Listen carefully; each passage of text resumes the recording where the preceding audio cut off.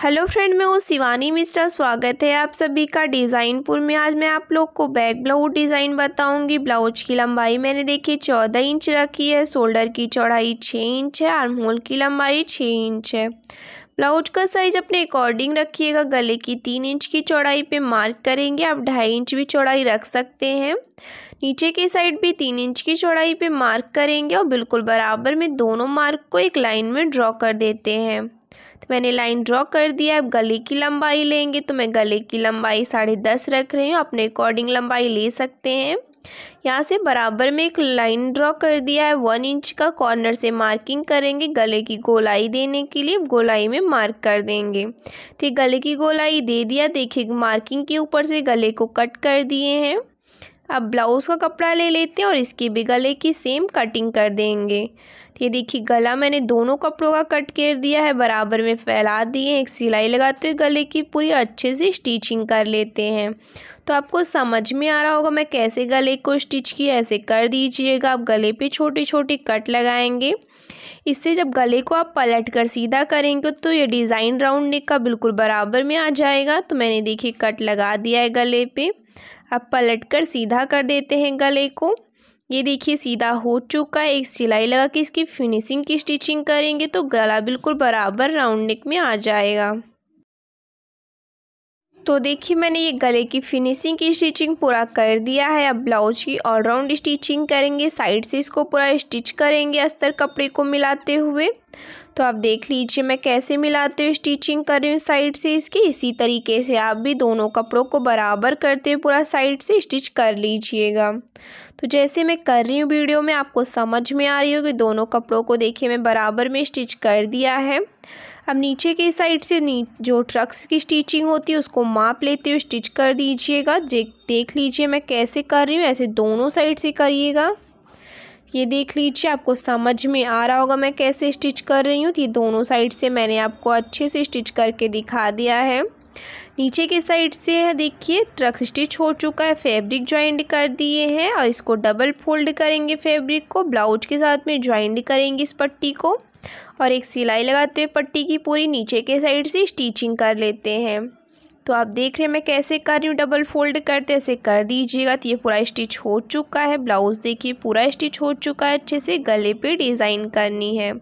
तो blouse side करते हैं और आपको डिज़ाइन दिखाएँगे। तो कुछ फैब्रिक मैंने स्क्वायर में कट किया है, जिसकी चौड़ाई मैंने टू पॉइंट थ्री इंच रखी है।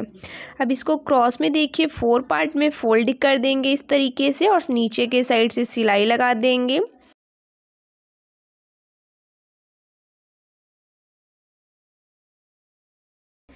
ये देखिए फोर पार्ट्स में स्टिच हो चुका है। इसको मैंने कट करके अलग अलग कर दिया और डिज़ाइन मैंने ये बना रखी थी। इसको साइड करेंगे और ब्लाउज़ ले लेते हैं। ब्लाउज़ के गले पे डिज़ाइन को बराबर करते हुए स्टिच करेंगे। तो आप देख लीजिए, मैं बराबर करते हुए कैसे स्टिच कर रही हूँ गले पे डिज़ाइन को। इस तरीके से हम बराबर में रखेंगे डिज़ाइन को।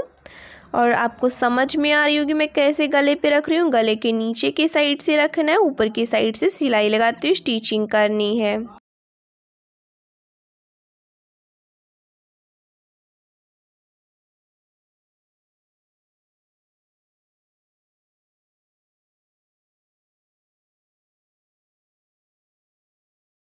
तो मैंने देख लीजिए, पूरे गले पे डिज़ाइन को बराबर करते हुए पूरा स्टिच कर दिया है। आपको समझ में आ गई होगी। अब हमें नीचे की साइड से डिज़ाइन करना है तो यहाँ से मार्क कर लेते हैं। तो आप देखिए, मैंने एक साइड से मार्क कर दिया है, दूसरे साइड से इस तरीके से फोल्ड करके प्रेस करेंगे तो मार्किंग आ जाएगी। तो मैंने प्रेस कर दिया है, मार्किंग आ चुकी है, मार्क को डार्क कर दिए हैं। अब इस पर डिज़ाइन करनी है, ब्लाउज साइड करेंगे और डिज़ाइन बनाने के लिए एक पट्टी ले ली है।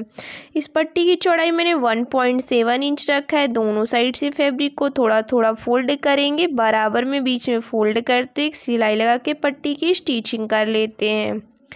तो आपको समझ में आ रही होगी मैंने ये पट्टी सॉरी, मैं ये पट्टी कैसे स्टिच कर रही हूँ, इस तरीके से कर दीजिएगा। ये देख लीजिए, मैंने पूरी पट्टी आपको स्टिच करके दिखा दिया एक साइड से। इस तरीके से दूसरे साइड से भी एक सिलाई लगा के इस पट्टी को स्टिच करेंगे। तो आप देख रहे हैं मैं कैसे दूसरे साइड से कर रही हूँ। ये दोनों साइड से मेरी पट्टी स्टिच हो चुकी है। अब डिज़ाइन बनाना है इससे। तो डिज़ाइन बनाने के लिए इसको कट करना है। तो मैं आपको मेज़रमेंट बता देती हूँ। तो मैं इसको वन पॉइंट फाइव इंच, डेढ़ इंच की लंबाई पे कट करूँगी। तो मैंने माप ले लिया। माप ले के बराबर में देखिए इसको फोल्ड कर रहे हैं। ऐसे कर दीजिएगा। अब इसको कट करके अलग अलग कर देते हैं पूरा। तो सभी को मैं देखिए कैसे कट करके अलग अलग कर रही हूँ। ऐसे आपको भी करना है। तो ये मैंने देखी इसको कट करके पूरा अलग अलग कर दिया है। अब इसको साइड करेंगे पट्टी को। ब्लाउज़ ले लेते हैं।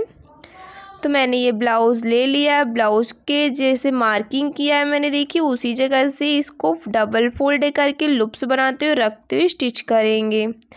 तो आप देख लीजिए मैं कैसे लुप्स बनाते हुए इसको स्टिच कर ही रखते हुए इसे गले पे पूरा बराबर में इसको स्टिच कर दीजिएगा, बीच में थोड़ी थोड़ी गैपिंग दे दीजिएगा, जितनी चौड़ाई में आपका लुप्स की पट्टी है, उतनी चौड़ाई का बीच में देखिए मैं गैपिंग भी रख रही हूँ। ये देख लीजिए, मैंने कम्प्लीटली थोड़ा सा बाकी है, पूरा लगा के स्टिच कर दिया है लुप्स को। अब इसके हमें ब्लाउज़ को लेस से डेकोरेट करना है तो लेस ले लिए, पहले गले पे बराबर में रखते हुए लेस को स्टिच करेंगे।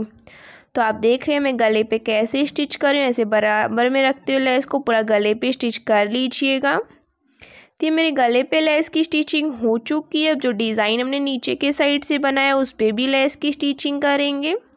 तो देखिए मैंने लेस ले लिया है, लेस को बराबर करते हुए यहाँ से भी जैसे लुप्स को स्टिच किया, उसी उसी जगह सिलाई लगाते हुए लेस को भी स्टिच कर लेते हैं।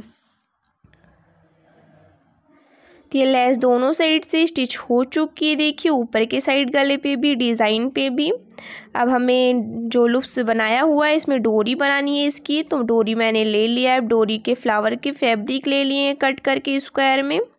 इसकी जो गोल्डन कलर का फैब्रिक है, इसकी लंबाई चौड़ाई मैंने तीन इंच रखी है। जो रेड कलर का, उसकी मैंने टू पॉइंट सेवन इंच रखी है लंबाई चौड़ाई।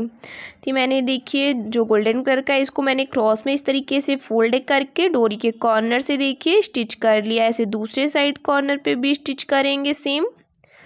तो उसका भी मैंने देखी, ये बना दिया दोनों कॉर्नर का भी इसको पलट कर सीधा कर देंगे फ्लावर को। ये देखिए, मैंने इसको पलट कर सीधा कर दिया, जो दोनों फ्लावर हैं गोल्डन कलर का, अब रेड कलर का फ्लावर स्टिच करेंगे। तो इसको भी इस तरीके से क्रॉस में फोल्ड करेंगे और देखिए, गले पे सॉरी डोरी पे बराबर में रखते हुए स्टिच करेंगे।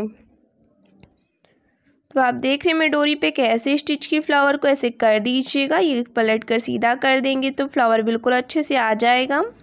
तो एक कंप्लीट है, दूसरा भी मैंने देखिए बना ही लिया है तो ये दोनों कंप्लीट है। अब इन दोनों डोरियों को बराबर करेंगे अच्छे से और बीस से कट करके डोरी को अलग अलग कर लेते हैं, दो पार्ट में कर देंगे डोरी को।